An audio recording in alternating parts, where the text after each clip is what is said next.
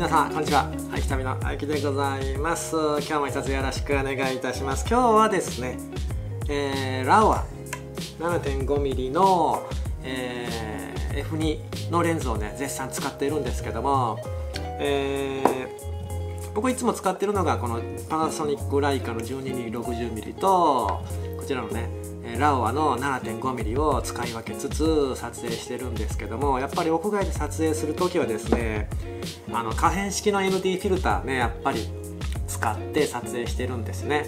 でこれでですねできるだけこの可変式 ND フィルターを1つで付け替えつつ撮影したいなという同じ ND フィルターをね使いながら撮影するとやっぱコストが抑えれるということで今ねこのパナソニックライカのレンズの直径が 62mm ですね、えー、これに僕ねあの屋外で撮影して MD フィルター使って例えばその屋内に入って飯の動画を撮るときなんかはね ND フィルターつけてるとちょっと暗くなって ISO 感度が上がってノイジーになったりすることがあるので屋内で撮影するときは ND フィルターを取ってるんですね。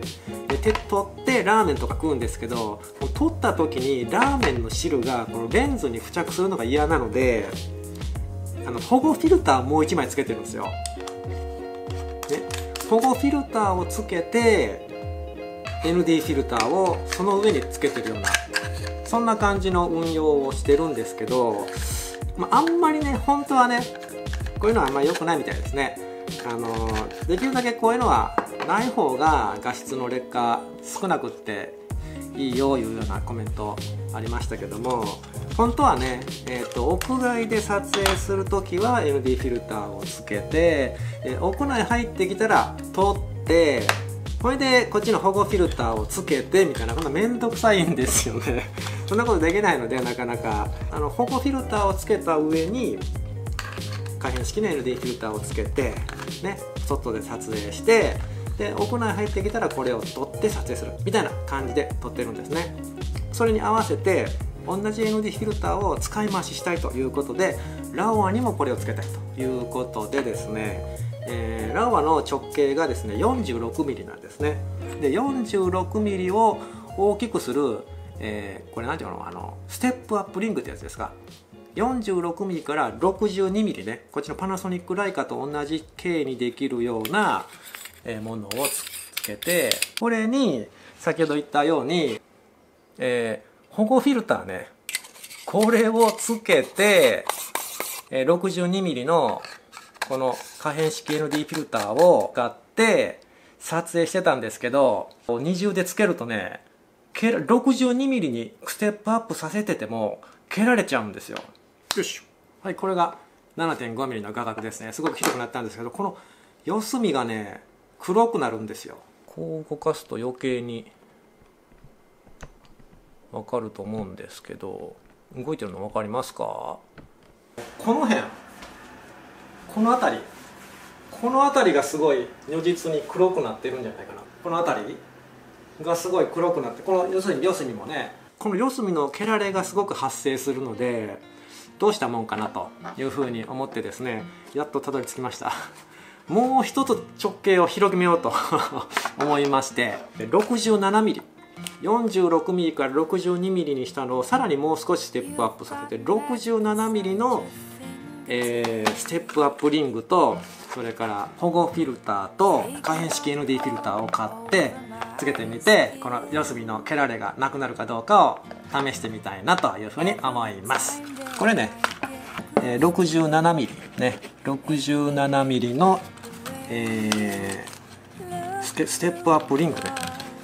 早速出てきた。もう何の変哲もないただのリングですね、えー、レンズに取り付けます。ちら保護フィルター。ちょっと高め3000円ぐらいの保護フィルターにしてみました。パカッと。あ。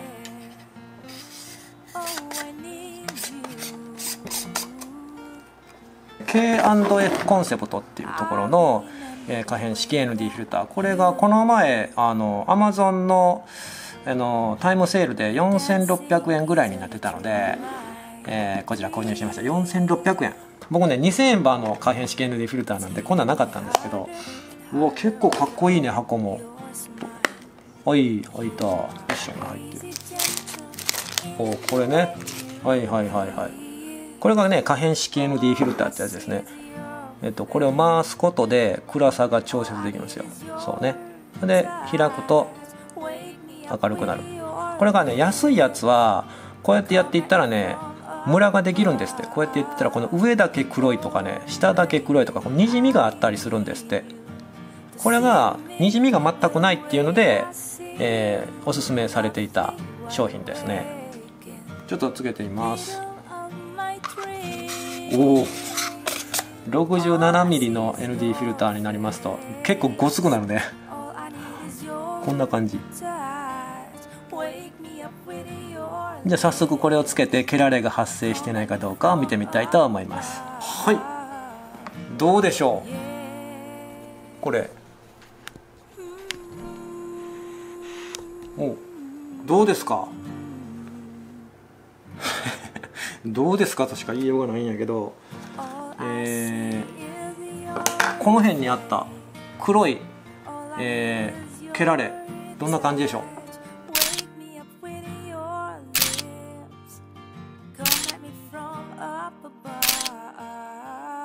あの日が少し変わりましたけども、えー、動画編集してみたらですね少し、えー、分かりにくかったのねこの四隅の縁のあの、えー、蹴られ具合、えー、屋内ではなかなか分かりにくいと思うので、えー、早速外へ、えー、持ち出してですね外で撮影してみようかなと思います。今ね外へ出てきました。どうですか？やっぱりこっちのこの辺ですかね？この辺とこの辺とこの辺。えっ、ー、とねカメラのモニターですか？このディスプレイとファインダーでね確認するとさほどその黒いのは見えないんですけどいざ帰ってきて動画見てみるとですねやっぱりこの四隅にですねえー黒いのが見えるなという感じがしますけど、どうでしょうか？今が、えっと、62mm ですね。46mm から 62mm にステップアップさせて、保護フィルターをつけた上に ND フィルターをつけて、えー、運用しているところなんですけども、どんな感じでございましょうか？この表隅に見えるんじゃないでしょうか？こうやって持って歩くと余計に見えそうな感じなんですけども、どうでしょう？こうやって、こう持つ感じ？いかがでしょう？ね。こんな感じ。やっぱりこの横、四隅が揺れますよね。あの、手ぶれ補正も相まって、この四隅がこう、ぐらぐらぐらぐら揺れる感じがするんではないでしょうか。いかがでございましょうか。よいしょと。と、次に、えー、っと、60、67ミリ。67ミリの、えステップアップリングに保護フィルターをつけて、えー、可変式 ND フィルターをつけて、運用してみたいと思います。じゃあ書いてみますね。はい、いかがでございましょうか。さっきと比べてどうでしょう？えー、っと、この四隅の蹴られ具合、どうでしょうか？あんまり変わらないかな？変わってると思うんだけどなえー、っと、こん、こんな感じかなうん、どうでしょう？画角自体は、あうん、いいんじゃないかなまあ、いっぱい、えー、取り、取り比べしながらですね、えー、やってみようかなと思います。結構今日はね、曇りでね、あのー曇ったり、日が当たったり、曇ったりで、あの日が変動するので、あのー、画面も黒なったり、明るなったり、ちょっと難しいんですけども、えー、こんな感じでね、感じ、歩いてみた感じ、どうですか？歩いた感じどうでしょう？あんまり四隅がぐらぐらなることもないんじゃないかなと思うんですけども、どんな感じでございましょうか？よいしょ。ね。割といいんじゃないかなこれで。